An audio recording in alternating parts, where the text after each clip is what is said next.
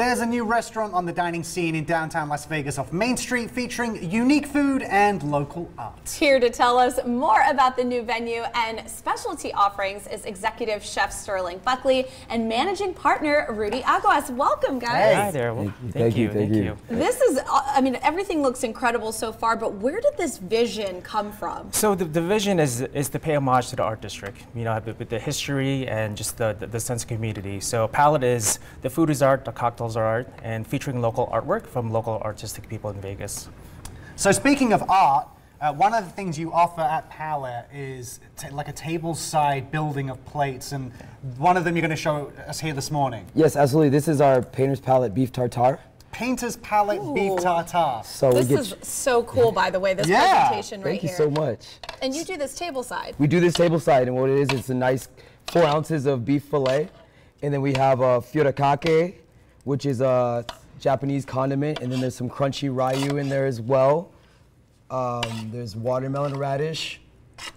And I want to know what that sauce together. is that you're So- putting in there. There's some mustard That and stuff that, in that there. is a rayu aioli, crunchy rayu aioli- aioli, which is like a crispy condiment, So and then thi- we pour this a is little bit of this is obviously an example of what people can expect when they come in. How did you go about creating the menu? Is it all centered around the, the art of food, or is it you know was it is it seasonal? How do you how do you go about selecting? Absolutely. It's all about, we go seasonality, but we also think about creative dishes and creative food, things that you've never seen before, ways that we just want to have fun. Like you said, pay homage to art. Food is art.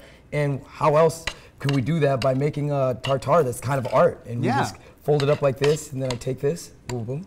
And I see something on the side that you're putting those next to. Yes, these are foie gras cornbread, and we bake all of our breads in house.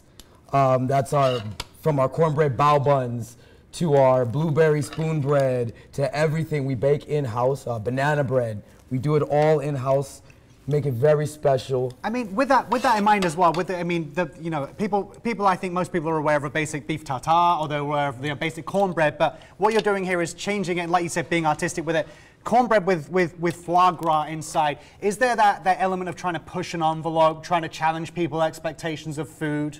Absolutely, and all with mixing it in with a little bit of, uh, of our cultures and everything, kind of, uh, you know, mixing in. Um, of course, you know, cornbread is a southern thing, so I mix like southern with French or modern American Fusion, or. Latin American. That's kind of it. So we don't play by the rules. We kind of just do it our way and just have fun and make it artistic, make it beautiful, make it Be creative. colorful. Yeah. Being creative. Yeah. Well, it's clear. I mean, the, the presentations are, are incredible, but I see something in the corner over here.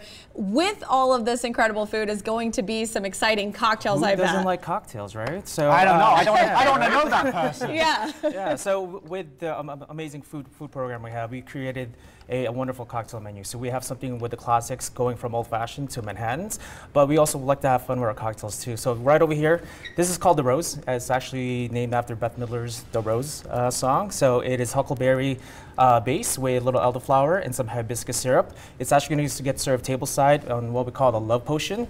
Um, we're going to spritz a little rose water on top. Oh. And then the rose actually goes to the guests. Aww. So everyone gets a little. We like doing like, rose, Thank fi- you. like firework noises. Ooh. ah. All right, and then it gets served tableside for you. Very That pretty. is beautiful. Yeah. Um, right over here in, in, in our box is called the smoking section. This is our coconut wash whiskey. Uh, we infused the coconut oil with a little bit of a white chocolate um, coffee with some mushrooms, a little cinnamon raisin, and a little prosciutto uh, to kind of balance the flavors. Wow. It's, it's, it seems to me that the whole the menu and the drink program is inspired for, to be like talking points to to, to, to pique people's interest and to you know to get them to thinking about what they're eating rather than just you know Yeah. going through the motions of just meat, cheese, drink. It's, it's like you know it's, it's a challenging thing and a talking point almost. It's an experience, right? Yeah. So when, when, when you're dining dining out, you want to you know uh, remember the experience that you had. So a lot of our food and cocktails and stuff, it's it's something that you can post about it, talk about it, and and, and tell your friends about it. Well, this is clearly an experience, but really quick before we, we wrap up here, the, you guys are doing something for our furry pups that, that is really cute, and then you're also offering brunch. Tell us a little bit about those. Yeah, so we started brunch right away. Um, we had our first one this past Sunday, very uh, successful. Um, Sterling created another wonderful menu uh, for us. As far as for, um, for, for our puppy friends, we created a puppy hour. Uh, chef created a charcuterie board so that we can offer. Charcuterie Charcuterie. Very clever. so cute. So we're very uh, pet friendly. Uh, you can bring your dogs and do a little puppy hour. You We're guys sound excited great. Yeah, check this it is great, out. guys. Uh, check out Palate, the newly developed Colorado building in downtown Las Vegas. And for all info and reservations, visit palatelv.com. Let's have some cornbread. oh yeah.